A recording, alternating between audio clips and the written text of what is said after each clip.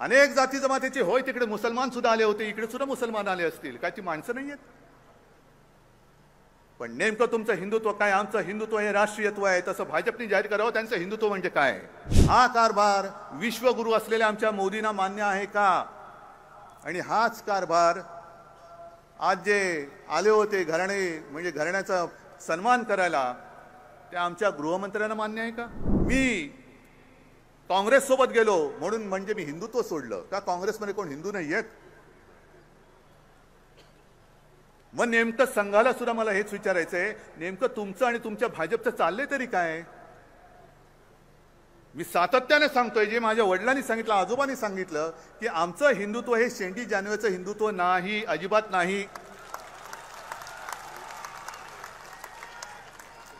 आणि मी नवीन नाव त्यांना ठेवलेलं आहे. यांचं हिंदुत्व हे गोमूत्रधारी हिंदुत्व आहे. तुम्ही म्हणाला काय हो काहीतरी बोलता गोमूत्रधारी का? नाही ते एवढ्यासाठी आहे की संभाजीनगरला अशीच अलोट गर्दीची सभा झाली तिकडे गोमूत्रधारी गेले हे सगळे येऊन गेले म्हणून आम्ही गोमूत्र शिंपडतो अरे थोडं प्राशन करा काहीतरी अक्कल कसलं गोमूत्र शिंपडताय देश कुठे चाललाय? जग कुठे चाललंय? आणि तुम्ही गोमूत्र घेऊन गोमूत्र शिंपडताय काय इकडे आलेली माणसं ही माणसं नाही आहेत संभाजीनगरला जी लाखो माणसं आली होती ती माणसं नाही आहेत अनेक जाती जमातीचे होय तिकडे मुसलमान सुद्धा आले होते इकडे सुद्धा मुसलमान आले असतील काय ती माणसं नाही आहेत पण नेमकं तुमचं हिंदुत्व काय? आमचं हिंदुत्व हे राष्ट्रीयत्व आहे तसं भाजपने जाहीर करावं त्यांचं हिंदुत्व म्हणजे काय? त्यांना शिवसेना प्रमुखांचं योगदान आता नको नाकारतायत. हनुमान चालीसा पडायचंय आणखीन काय काय करायचंय अयोध्येला पण जायचंय. पण त्याच बरोबरीने मोहनजी भागवत हे मशिदीत सुद्धा जाऊन आले. मी गेलो असतो तर? एका बाजूला हनुमान चालीसा पडायचं आणि दुसऱ्या बाजूला मशिदीत जाऊन हे कव्वाली ऐकणार हे यांचं हिंदुत्व. उत्तर प्रदेशमध्ये मदरशामध्ये जाऊन उर्दूमध्ये मन की बात करणार हे यांचं हिंदुत्व. या हिंदुत्वाच्या भाकड कथा आम्हाला सांगू नका. आमच्या रक्तामध्ये हिंदुत्व जे आहे ते या देशासाठी मातीसाठी जो जीव द्यायला तयार आहे तो आपलं मानणारं हे आमचं हिंदुत्व आहे. बरं ठीक आहे. आम्ही काँग्रेस बरोबर गेलो. कोणी घालवलं आम्हाला? दोन हजार चौदा साली भाजपनेच आमची युती तोडली होती.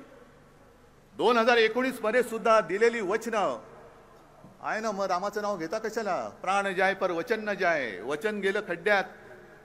पण माझी खुर्ची मिळाली ना आता तू पण जा खड्ड्यामध्ये. हे असं हिंदुत्व नाहीये. आणि आता जे काय सगळं घडतंय मी मगाशी जे सांगत होतो फडतूस शब्द मी का वापरला? तुम्ही असता माझ्या जागी तू तुम्ही काय केलं असतं? हे तुम्ही मला सांगा. एका महिलेवरती तिच्या कार्यालयात घुसून महिला गुंडांकरवी हल्ला केला जातो. रोशनी शिंदे तिचं नाव. बरं ती हात जोडून सांगते की मला मारू नका. मी उपचार घेते. मातृत्वासाठी ती उपचार घेते. ती हात जोडून कळवळून सांगते मारू नका. तुम्ही सांगा काय करायचं. नाही तू असं असं केलं ते काय केलं? नाही अमुक अमुक ट्विट केलं. तू माफी माग. ठीक आहे माफी मागते. माफी मागण्याचा व्हिडिओ तिने दिला. त्याच्यानंतर सुद्धा आणखीन महिला आल्या तिला पाडल्या आणि तिच्या पोटामध्ये लाथा घातल्या. हे तुमचं हिंदुत्व? हे आहे संघाला मान्य. बर तिला पोटात लाथा घालून मारल्यानंतर ती तक्रार करायला गेली हॉस्पिटलमध्ये गेली तक्रार कर करतायत पोलीस तक्रार घ्यायला तयार नाहीत. मग तिला ठाण्यावरनं मी मुंबईतल्या इस्पितळात आणलं. दुसऱ्या दिवशी आपला मोर्चा होता. मोर्चा चालू असताना तिकडे हॉस्पिटलवरती दबाव आणला जात होता. हिला लवकर डिस्चार्ज करा. खोलीच्या बाहेर पोलीस बसले होते. बाहेर पडले रे पडले की तिला अटक करायची. हे तुमचं हिंदुत्व?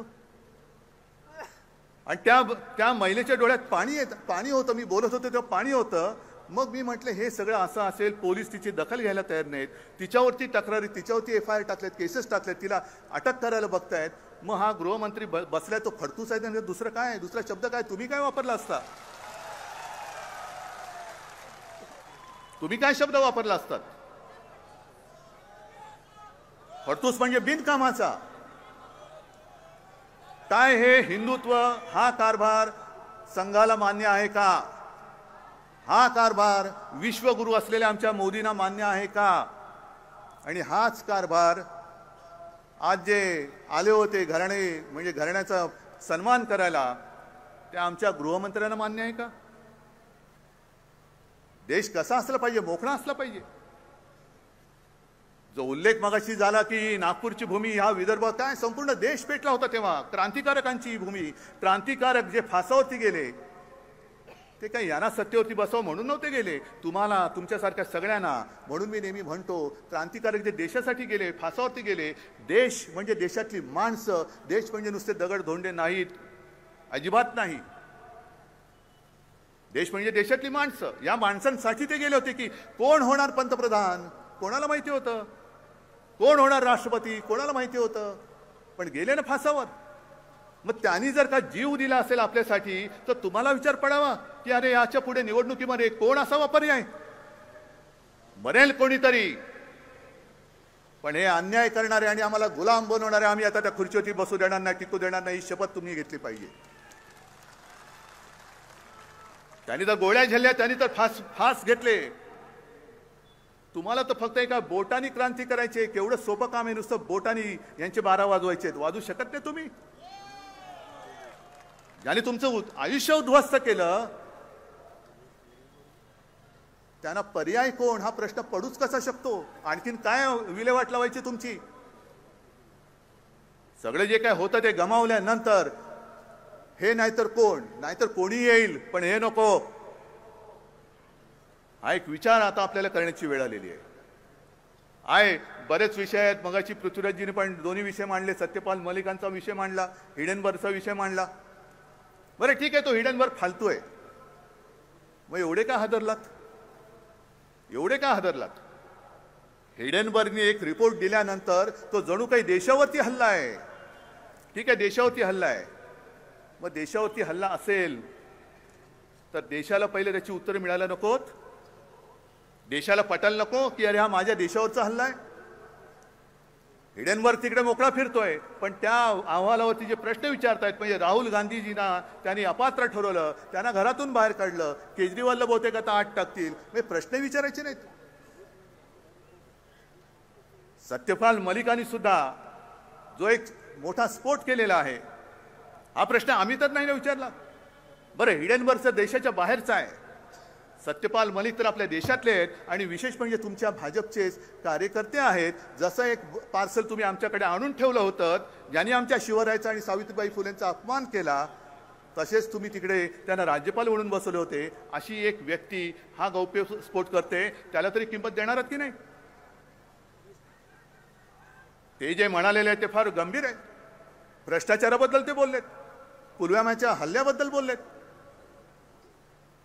मग कोण उत्तर कोणाकडनं कोणी मागायचं? आणि ते आणखीन जे म्हणालेत की त्याच वेळेला त्याने एक शंका आली होती की या हल्ल्याचं ते राजकीय भांडवल करण्याची शक्यता आहे. मग तुम्हाला आठवते का हो? कारगिल युद्धाच्या वेळेला एक आणखीन एक मलिक कोण होते? विपी का विके व्हीपी मलिक. त्या मलिकाने एक पुस्तक लिहिलेलं आहे. आणि त्यांनी सांगितलेलं आहे की कारगिलचं युद्ध आपण जिंकल्यानंतर जे भाजपच्या प्रचाराच्या सभा व्हायच्या तिकडे तिन्ही लष्कराच्या तिन्ही प्रमुखांचे फोटो छापले जायचे. आणि मलिकाने वाजपेयींकडे तक्रार केली की हे कसं बरोबर नाही सैनिक लढलेत. हे शौर्य सैनिकाचं आहे देशासाठी आम्ही लढतो आहोत पक्षासाठी नाही लढत. तुमचे अंध भक्त हे तुमचे सैनिक असू शकतील पण माझ्या मातृभूमीचे सैनिक पुत्र हे पक्षाचे सैनिक होऊ शकत नाही ते माझ्या देशाचे सैनिक आहेत. आणि देशासाठी लढल्यानंतर त्याचं श्रेय तुम्ही घेताय. नशीब त्यावेळेला वाजपेयी होते हे असते तर त्यालाच आत टाकला असता. पण वाजपेयीने ती पोस्टर्स मागे घ्यायला लावलं. एक लावली एवढा मोठेपणा त्यांच्यामध्ये होता. आणि मगाशी जयंतराव तुम्ही बोलता बोलता जे सांगायचं राहिलं वाजपेयी तेच म्हणायचे सरकार आती आहे सरकार जाती आहे लेकिन देश रहना चाहिए. देश राहायला पाहिजे. मी सत्तेची नशा जी बोललो सत्तेचं व्यसन जे बोललो अरे आमचं चाललं होतं सरकार. पण तुम्हाला आणखीन दोन तीन वर्ष सुद्धा थांबवलं नाही. महाराष्ट्रामध्ये महाविकास आघाडीचं सरकार हे व्यवस्थितपणे काम करत होतं. त्याच्यामध्ये तुम्ही घुसलात. त्यातनं आमचे गद्दार तुम्ही फोडले. आणि हे सगळे गद्दार त्यांना घेऊन तुम्ही आता राज्य कारभार करताय. ही सत्तेची नशा नाही तर दुसरे काय? तिकडे मध्य प्रदेशचं सरकार पाडतंय. कुठे दिसेल तिकडे? ही काय दहीहंडी आहे की काय देशभर लावलेली लोकशाहीची? यांचा गोविंदा निघालाय दिल्लीवरून. आणि दिसली अंडी का फोड दिसली अंडी का फोड हा काय गोविंदा आहे? सगळीकडे देशभर ही अंदाधुंदी माजवायची. अरे कारभार तुम्हाला सत्ता पाहिजे ना? चला आम्ही देतो सत्ता तुम्हाला. बसलेलाच आहात पण आणखीन चांगल्या पद्धतीने देतो. गेल्या आठ वर्षामध्ये देशासाठी काय केलंय हे पहिलं आम्हाला सांगा मग आम्ही तुम्हाला सत्तेची दारू उघडून देतो. आणि तुम्ही इकडे आलेलात नुसतं निश्चय करून गेलो. नाही. ज्या सरकारी जाहिराती येतात अगदी केंद्राच्या सुद्धा. तुम्ही या नागपूरच्या आजूबाजूच्या गावातून आलेला आहात. मला सांगा जरा तुमच्या गावामध्ये उज्ज्वला योजना किती ठिकाणी व्यवस्थित चालू आहे? अरे पण पंतप्रधानांच्या फोटोनी तर दिसतात ना पेट्रोल पंपावरती पूर्वी लागले होते उज्ज्वला योजना. पीक किसान विमा योजना किती ठिकाणी व्यवस्थित चालू आहे? शेतकऱ्याच्या खात्यामध्ये व्यवस्थित वेळेवरती पैसे किती लोकांचे येत आहेत? मग तुम्हाला कळते तुम्ही कसे फसवले जात आहे मी माझ्या गावामध्ये बघतो पंतप्रधानचा फोटो उज्ज्वला योजनेमध्ये एवढ्या लाख लोकांना य- महिलांना त्याचा फा लाभ झाला. मी म्हणतो माझ्या नाही पण पाटोळे साहेबांच्या गावात झाला असेल. पाटोळे साहेब त्यांच्या गावात बघतात ते म्हणतात अरे माझ्या गावात नसेल पण थोरात साहेबांच्या गावात झाला असेल. थोरात साहेब म्हणतात माझ्या गावात नाही अजितदादांच्या झाला असेल पण आम्ही सगळे एकत्र भेटतो. तेव्हा म्हणतो अरे तुझ्याही गावात नाही माझ्याही गावात नाही पण हे बुवा आपल्या सगळ्या गावात लागलेत. हा एक भ्रम सगळीकडे केला जातोय की सगळं काय आलबेल आहे. अजिबात नाहीये. अजिबात नाहीये. बेकारी वाढत चाललेली आहे महागाई वाढते आहे महागाई कमी होण्याचं लक्षण नाहीये. हे सरकार म्हणजे मोदींचं सरकार येण्याच्या आधी डॉलरचा भाव काय होता? कोणाच्या लक्षात आहे? गॅस सिलेंडरचा भाव काय होता? कोणाच्या लक्षात आहे? बरं तर बरं आता या सरकारने एक योजना चालू केलेली आहे आनंदाचा शिधा. किती लोकांना मिळाला? अरे कुठून आलात तुम्ही? महाराष्ट्रामध्येच राहता ना? मग एवढं दयावान सरकार तुमच्यासाठी एवढं काम करते एवढे फिरतायत एवढे फिरतायत.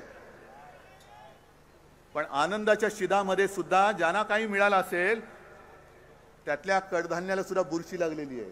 त्या आनंदाला बुरशी लागलेली आहे. सगळ्या कारभाराला बुरशी लागले. तिकडे शिद्याला बुरशी लागणार नाही तर काय होणार दुसरं?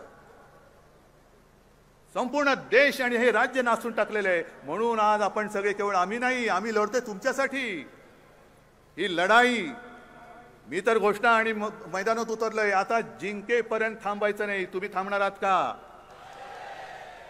खरंच तुमच्यामध्ये हिंमत आहे का हो? वज्रमूठ आवळायची आहे हिंमत आहे? कारण होतंय असं की एक एक मुद्दे आता आल्यानंतर सत्यपाल मलिकांचा मुद्दा आला अडाणींचा मुद्दा आला आणखीन कोणाचा आला? काय मरेच काहीतरी असे एक ढग पसरवतात धार्मिक. म्हणजे जे मोदींनी सांगितलं होतं ना तो सर्जिकल स्ट्राईक करताना मुझे बताया गया की बादल है.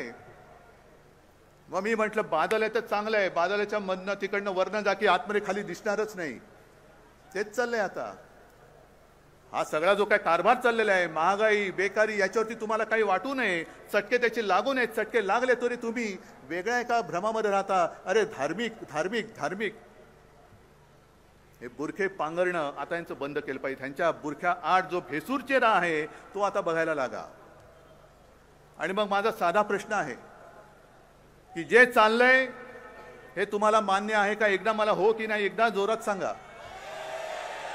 म्हणजे आम्ही करतोय ते तुम्हाला पटते की नाही हे एकदा सांगा. मग जिंकेपर्यंत सोबत राहणार आहात की नाही एकदा मला मोठी आवडून सगळ्यांनी दाखवा. आणि पत्रकारांनी या मोठी दाखवा एक सुद्धा भाडक भाडकाऊ कोण नाही याच्यामध्ये. एक सुद्धा माणूस भाड्याने आणलेला नाहीये खुर्च्या सोडल्या तर. बस हा जिवंतपणा. लोकशाही मेली नाही लोकशाही मरू देणार नाही. आणि लोकशाही जगवायची असेल तर हा जिवंतपणा हा असाच तुम्हाला कायम ठेवावा लागेल. आम्ही आहोत. आम्ही मैदानात उतरलेलो आहोत. पण ते लढतोय ते तुमच्यासाठी लढतोय. आणि आता जिंकल्याशिवाय थांबायचं नाही. जय हिंद जय महाराष्ट्र.